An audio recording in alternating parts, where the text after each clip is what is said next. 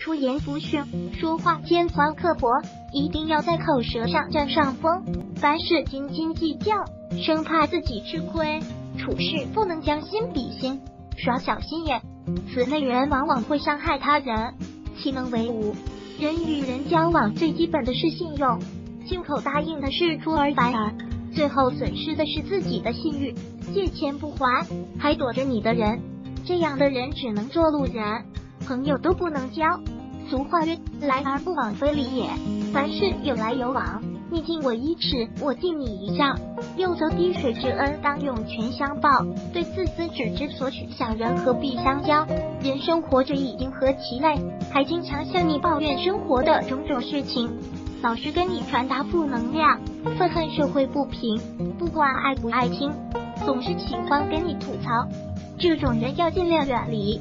会影响自己的心情。父母辛辛苦苦把人养育长大，到头来却变成白眼狼，把父母踢开。忘恩的人必然会负义，对亲生父母都何其残忍，就不用指望他对你手下留情。要么心肠歹毒，要么自私龊龊，自废为伍，如同一狼为伴。生活中遇到这六种垃圾人，请尽快远离，小心吃大亏。每个人身边都有。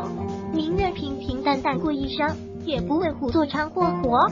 如果喜欢本视频，请分享并订阅本频道，访问 T T News X Y Z 获取更多相关资讯。